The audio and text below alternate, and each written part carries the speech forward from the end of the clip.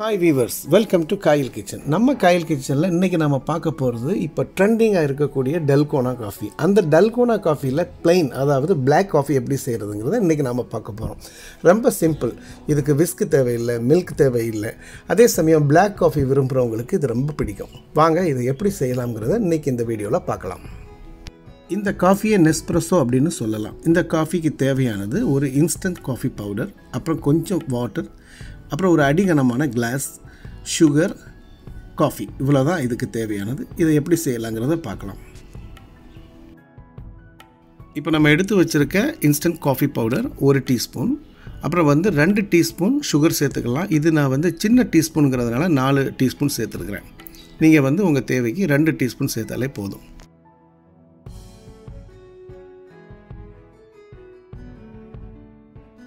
அதோடு சேர்த்து ஒரு நாலு ட்ராப்ஸ் வாட்டர் ஒரு ஹாஃப் டீஸ்பூன் ஊற்றினா போதும் ரொம்ப ஊற்றினா வாட்டரி ஆயிரும். ஒரு நாலு சொட்டு அப்படி இல்லைன்னு சொன்னால் ஒரு அரை டீஸ்பூன் ஊற்றினா போதும்.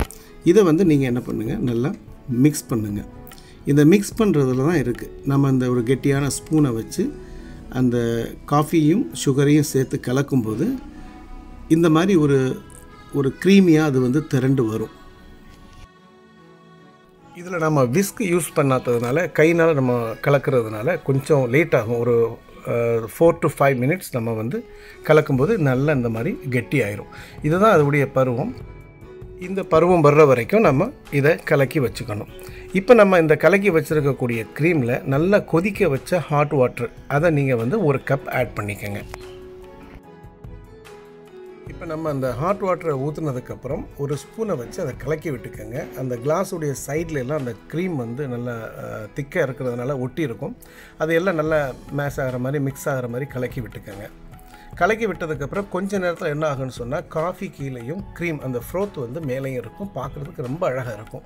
இந்த பிளாக் காஃபியை விரும்புகிறவங்களுக்கு இது ரொம்ப வந்து அவங்க விரும்பி குடிப்பாங்க. அவங்களுக்கு ஏற்ற காஃபி இந்த பிளாக் டல்கோனா காஃபி இதை நீங்கள் வீட்டில் செஞ்சு பாருங்கள் ரொம்ப சிம்பிள் இந்த வீடியோ பிடிச்சிருந்தா லைக் பண்ணுங்கள் ஷேர் பண்ணுங்கள் கமெண்ட் பண்ணுங்கள் மறக்காமல் நம்ம சேனலை சப்ஸ்கிரைப் பண்ணுங்கள் தேங்க்ஸ் ஃபார் வாட்சிங்